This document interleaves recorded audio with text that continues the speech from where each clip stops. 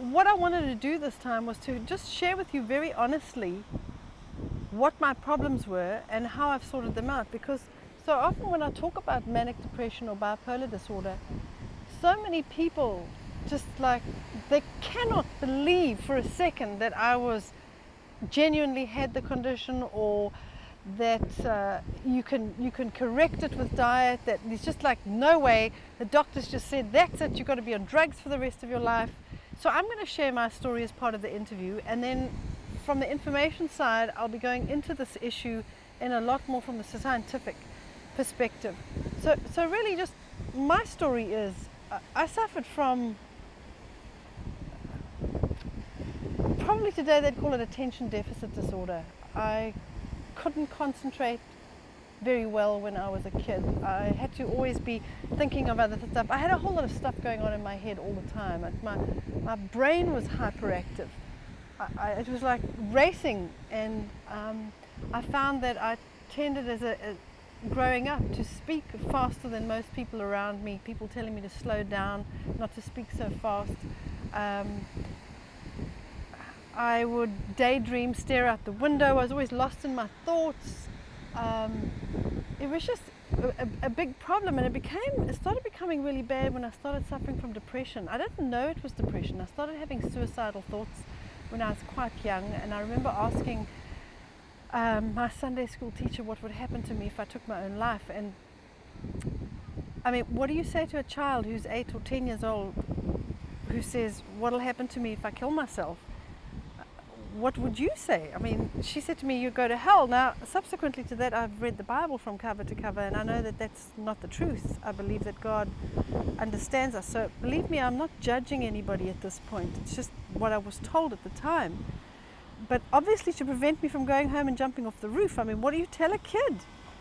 And so I had these mood swings that started getting worse and worse. And as a young woman, probably at the age 15, 16, 17 years old, I remember actually coming home from school on my bicycle thinking if I just shut my eyes and pedaled like mad, I would just crash into this bus that came around the corner at three o'clock every day and my life would be over. And I must tell you that I, I don't come from a family where I was abused as a kid. I was just a normal family. Um, there was no abuse. My parents were divorced when I was 10 years old, but it wasn't. Um, there was no as I say, no no emotional like disorders or anything. And I, I, I, tend to be a pretty kind of grounded person. I'm not. I tend to get over things quite quickly. So there was nothing that I could say at this point. Somebody abused me, or you know, there was any kind of abuse from anybody. Um, I'm one of four kids second of four kids. Uh, you know, I have an older sister and two younger brothers. So there was nothing. There was nothing in my past or my childhood that I could say. And not my my brothers and my sister don't have the same problem. And so I found that these these planned suicides. The one thing that stopped me was this thought that I could possibly end up in hell, and um, that wasn't a very nice thought. And so I uh, would kind of shove this away and then just deal with it. But I also had to have these really crazy thoughts that went on in my head. I, would have days where I felt I could take on the world and that like I was, you know, nobody could conquer me and I would just like, I could, you know, do anything. I was capable of anything. And I had days where I could not get out of bed. I had days where I remember clearly not being able to get out of bed until 12, 1, 2 o'clock in the afternoon. Um, I went on to meet my husband and we got married. And I remember even when I had small children, not being able to get out of bed in the morning. And these kids with the, you know, wet, wet bums and, and poop bums used to climb all over me, and I'd be like in the stupor in bed. It was like I was an alcoholic or something, and I never consumed alcohol at all and uh, it, it, it progressed. I mean, I used to have these really, really weird, crazy thoughts, and I'm not going to go into the details of what some of those crazy thoughts were because they were pretty violent, violent, crazy, horrible, just dreadful, dreadful stuff that went on in my head. And um, I remember crying out to God with my health and with this issue after I'd collapsed, I'd actually collapsed in a store. I had my young, my oldest daughter Melissa was about three years old. I had her in the um, shopping cart, and fortunately she was in the cart, and I wasn't holding her, so she didn't fall down on the floor. And so um,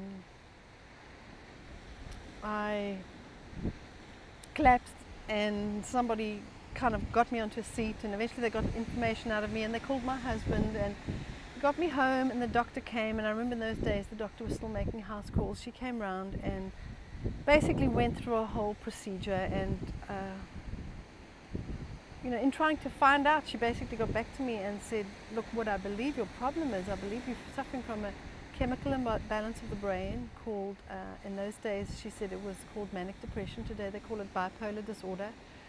And that, and I said, well, what can I do about it? She said, there's nothing you can do about it. You have to go onto medication for the rest of your life. And uh, basically gave me a script.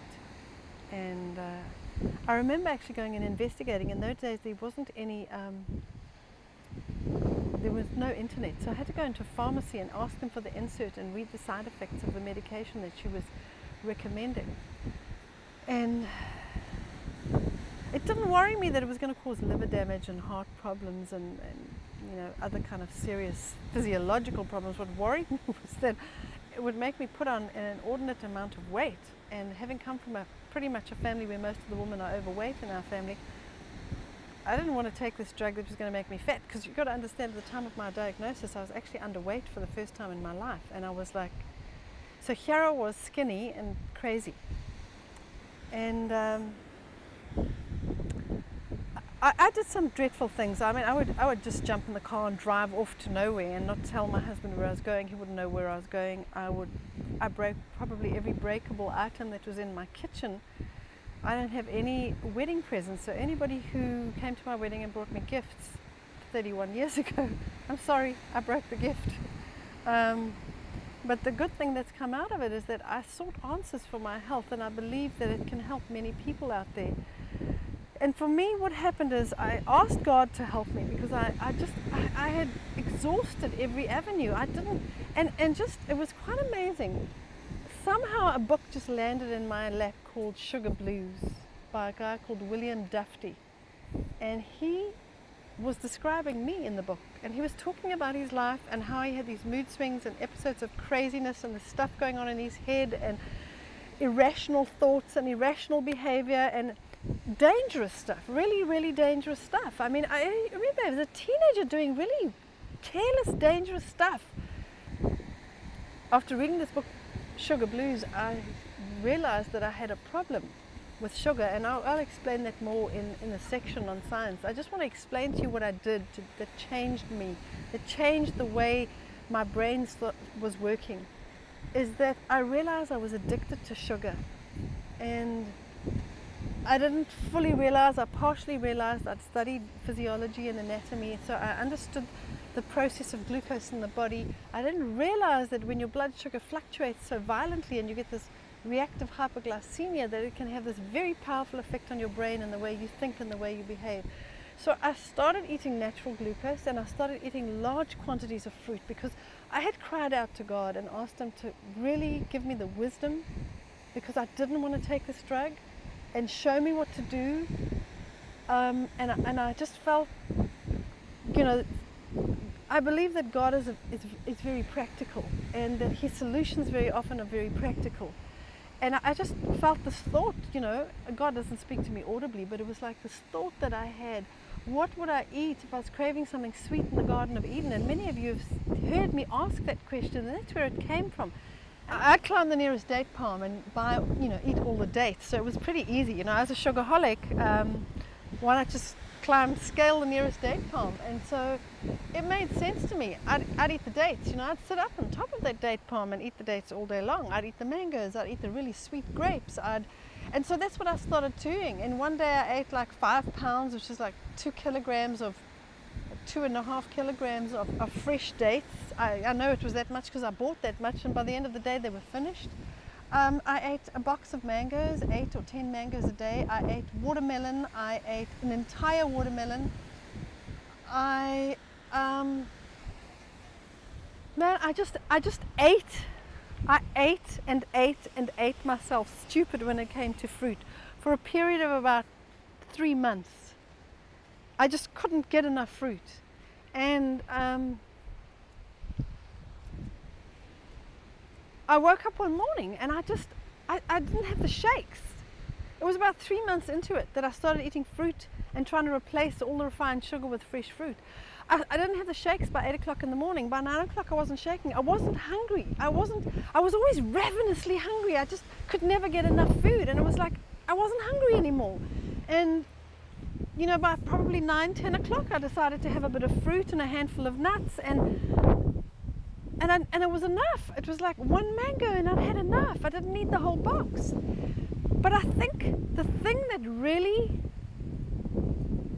made the big difference to me is that I started to feel this amazing sense of hope and sense of purpose and focus that I'd never had in my life before. It was like somebody had flicked the switch on in my brain.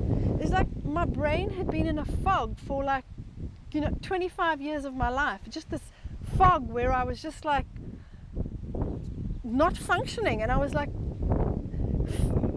living in this thick fog and kind of wading through it and I'd find people in there sometimes and I'd occasionally find a lucid thought. Now it was like it was crystal clear. I mean, it was like I'd wake up and it was like my head was as clear as the sky is here. I mean, it's just like that crisp, clean blue color over there. And, and um, it's been clear for, for 25 years. Just, it's like that. It's like sharp. It's like the colors are sharp my brain is sharp, as I said, the sense of purpose, the sense of focus, uh, constant energy. Um, I, I, just, I, I can get back to that state of craziness. It's pretty easy for me. I can do two things. I can consume alcohol or I can consume refined sugar, and that is, you know, sweetened condensed milk, candy, chocolate, plain sugar, cakes, cookies, anything with refined sugar. I seem to tolerate honey really well. I tolerate fruit exceptionally well. Um, I eat probably more fruit than most people do still, but I still don't eat vast quantities anymore. Um, but this incredible sense of hope that I have on a daily basis where my brain works. I can sit and concentrate for eight, eight hours at a time without having to get up and like go and do something else. I'm not I'm not kind of all over the place. I don't feel like my brain is it's like my brain used to fire like rapidly all the time. I feel like my brain is calm but very efficient. Um, and for me, that's the most incredible thing. It's just, it's just so awesome. I just want to tell you that for me, I've never had to take the medication. My brain has worked consistently well for 25 years. Um, I've been set free from depression. I don't suffer from depression anymore. I, I, have managed to write seven books and, and, and I've realized that I actually have a brain that works really well. How I ever got through school, I have no idea how my brain actually coped. Um, and, and I, I just, for anybody out there who's got family or friends, I, I'm begging you, I'm begging you, get down on your knees and speak to God first because He made your brain, okay? And then ask Him to give you directions, clear directions on how to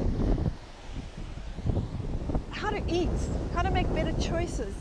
Um, you don't have to follow what I say, but take cognizance of what I'm saying and then go and find your own answers. For me, following the natural way principles worked. I have to exercise on a daily basis. For me, it's it's totally. I mean, it's just I need to exercise, it's part of who I am. But at the same time, following a healthy diet has made such an enormous difference. If it hadn't been for me having a relationship with God, I probably wouldn't have got down on my knees and asked Him for wisdom. And I believe that He's given me that wisdom. And I believe that the wisdom He gave me is available for every single person out there. You just have to ask and then take responsibility and start looking at your diet. I'm not telling you to throw your, your pills away. I'm not telling you to do that just start getting your life together, get your diet together, start exercising, and start making a conscious decision to work on getting somebody to your doctor to wean you off the medication you're on. If you have a doctor who says you can't come off it, find a doctor who will help you, and there are doctors out there. Just I just believe me when I say that changing your diet can set you free because it set me free.